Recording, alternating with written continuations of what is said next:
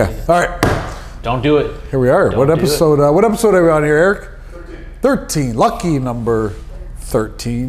So it's 13 times that we've sat here and have talked about that this intro, and what an intro that is. Am I right? Yeah, I mean, we 13 times in a row. Yeah. Same intro, never gets old.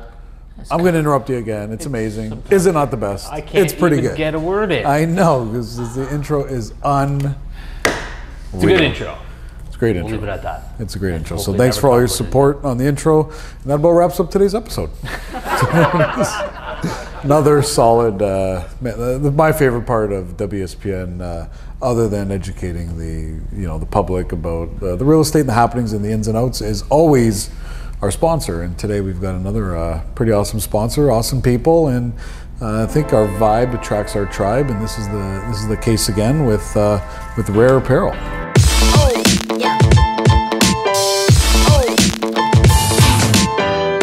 Yeah, look, check out the shirts. Um, so they specialize in celebrating and promoting Windsor Essex County, which is super cool, super rare. Right?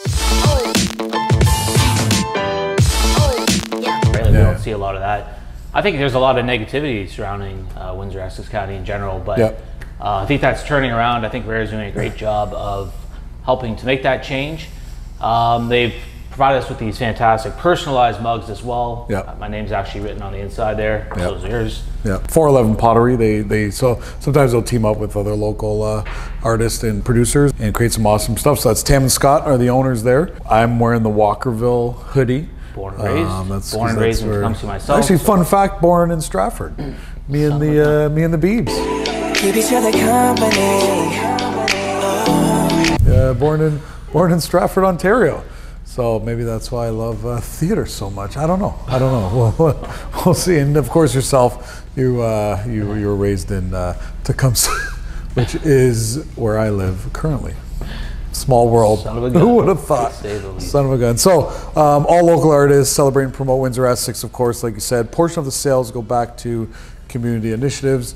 They've got the neighborhood collection. We've used this company for closing gifts ourselves, whether it be prints of the area that somebody bought in um, or swag. Yeah, local, born and raised. We love supporting local. Uh, we suggest that you, uh, our viewers, do as well. So, uh, WESPN this week. What do we got on top here, Yeah. Scott? So we, uh, Paul and I, just got back from a final walkthrough, I think I think a lot of times the final walkthrough is under uh, appreciated. I think it's Yeah. uh, under undervalued how important it is. Uh, a lot of the times, right, you do a final walkthrough, there's not really any issues to deal with. But on this particular one, I mean, there was nothing major, but No. definitely some things that needed to be addressed, and uh, you did a great job of taking care of that. But yeah, I don't know any any thoughts on on some things that you see at a final walkthrough. You know? We, we went to the final walkthrough uh, together on this one, and uh, you know we kind of just stood in the driveway after that. A lot of action on the final walkthrough. Uh, a lot of a lot of a lot of things happened on it. All, all good things, no bad things. I think for us, it's our final moment to to make sure that our clients satisfied and happy, and uh, and our our final moment as far as the transaction is concerned to just show how much how much we care. So on this particular final walkthrough, we made sure that we had an issue where flat screen brackets were gone. Right. So keep in mind, buyers and sellers, whenever you sell a property, everything that's screwed and glued to the actual property becomes part of the property. It becomes a, a, fi- a fixture of it. So, you know, unless it's excluded, then it is to stay. Our biggest gray areas are always the flat screen wall mounts and satellite dishes, stuff like that. Where Hot you, tubs. yeah, where you, where you, where you think it could go, but uh, but it is actually to stay. So this one here had a couple flat screen wall mounts missing. Kind of massaged that. They also left some Edison lights up.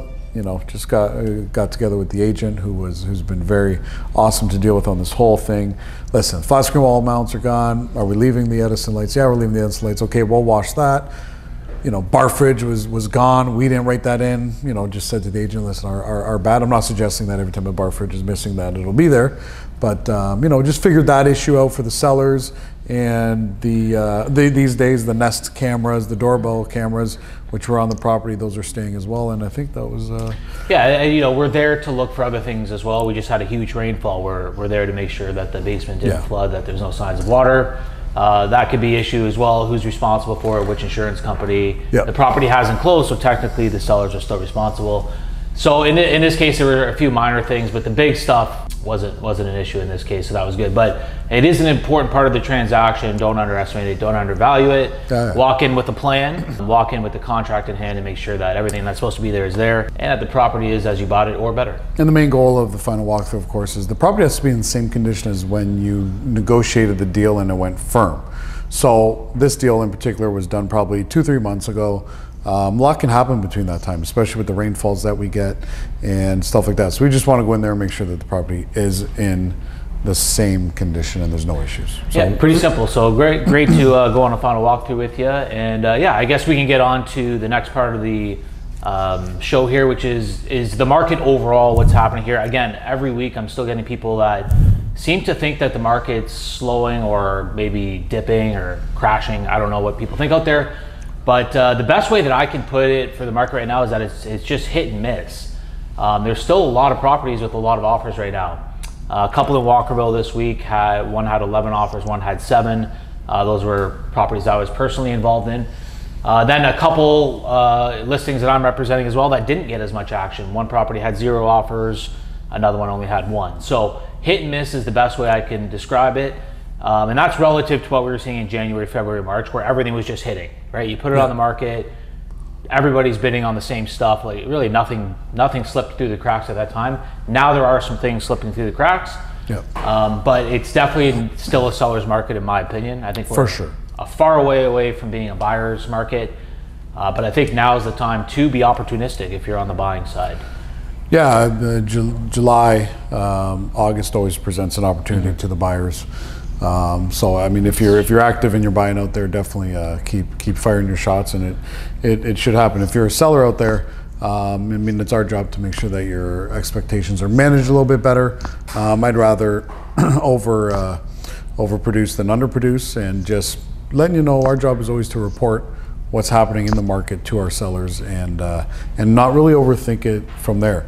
But we got to get offers because our true value is in how we can negotiate and uh, and get those offers to a place that makes makes you happy. So Yep. So the market's hit and miss, which means there's opportunities on the buy side, on the sell side. You just got to be intelligent with your marketing strategy and set proper expectations. Yeah. Um, and then in terms of uh, um, just the economy overall and what's happening in Windsor, I know the University of Windsor and St. Clair College have announced that they are prepping for in-class school uh, starting this fall, Yeah. September. So I think uh, economically speaking for Windsor, that's a bit like the university and college are, are big businesses here. Uh, they employ a lot of people. It's a big factor for immigration and international students and students coming from other provinces and other cities across Ontario. Uh, they absorb students absorb a lot of supply. A lot of students right now aren't living in Windsor because they don't have to. Right? They're doing online courses. Uh, they can be wherever they want in the world and do their, do their classes. That's about to change. I expect that to impact the rental market significantly and also probably the resale market. I think you're going to see a lot more investors coming in and um, snapping up properties to rent. Uh, so it's, de- it's definitely an underappreciated factor. It's a rental market that's already tight, right? I mean, we were talking earlier about it as well. Like the the rents that some of these places get, I could have never um, imagined, uh, you know, something getting close to three thousand bucks and it being uh, it being a townhome, right? That used to be three thousand bucks used to be a big uh, executive lease. Sometimes even I have to realize that things things have changed, but my mind will always go back to 2008, 9, 10, 11 when things were different, right? And that's just uh, that's Yeah, just, I think rents have doubled in, in about three years, which is Yeah. pretty crazy, and that that is what makes Windsor one of the most investable cities in the country, is because you have a high rental rate combined with relatively low purchase prices.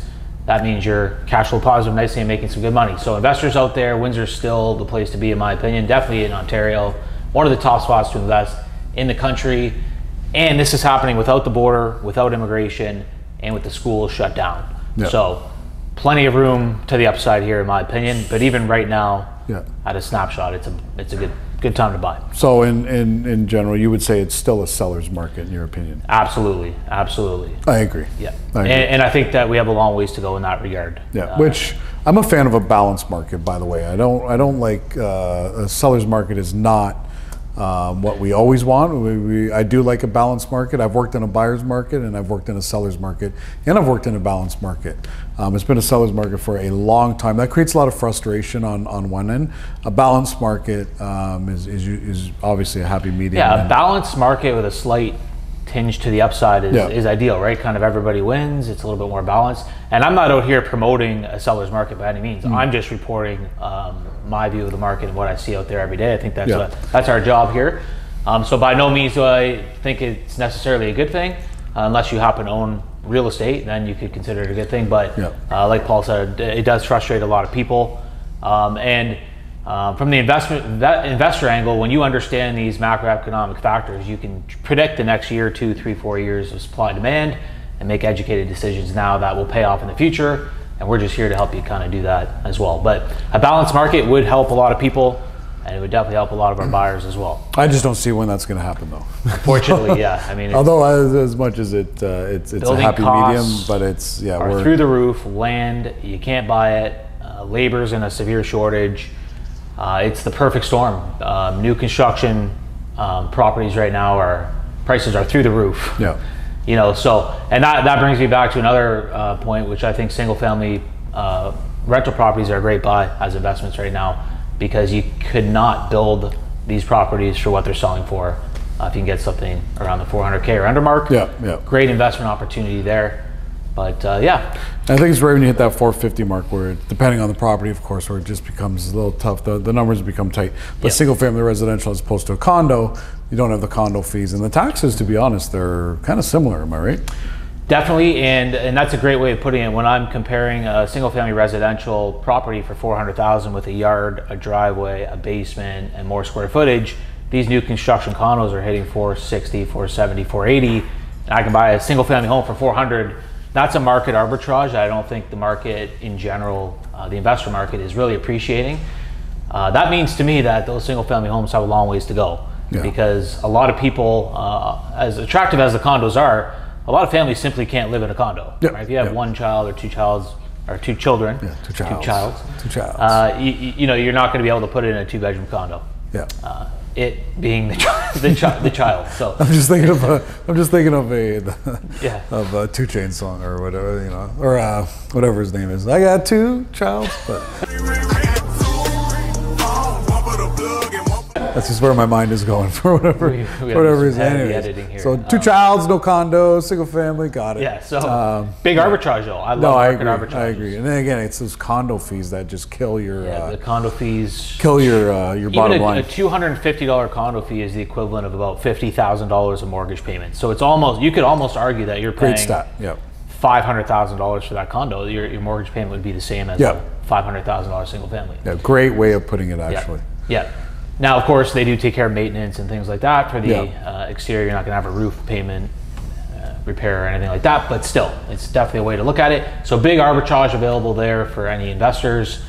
And uh, yeah, that kind of wraps up my investor angle. All right, there it is. Lucky episode number 13. And uh, my phone's ringing just on time. And uh, Rare Apparel. Thank you so much for the hoodie, Walkerville. Uh, they know me well. The Tecumseh crew for you. The mugs. Um, the support too, right? Uh, Scott and Tam, uh, great, great supporters of ours. And uh, be fresh and uh, stay rare.